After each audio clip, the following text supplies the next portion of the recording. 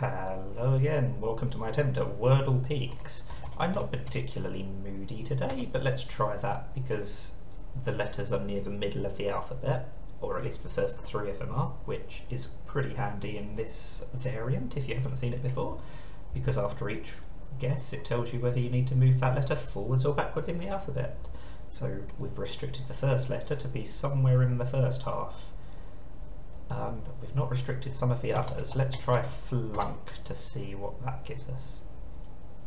Okay, so the second letter is somewhere between A and K. This one is very near the end of the alphabet.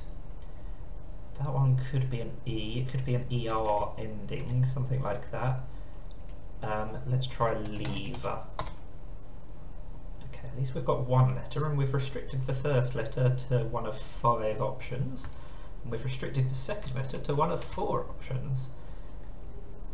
If this is a consonant, which seems likely, we're going to have to have the A here, aren't we? And it's possibly, it could be something like raven? No, because this can't be a V. So it could be an EN ending. Uh, it can't be haven either. It can't be given. I'm thinking that's an A.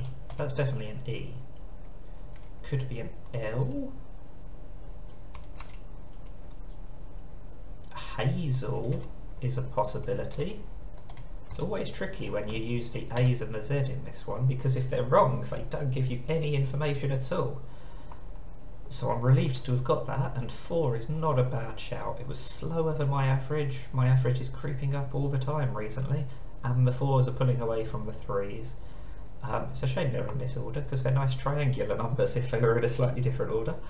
Um, but at least we've kept the win rate going. That's nice. If you've got a word you want me to start with, let me know. That's Wordle Peaks for today.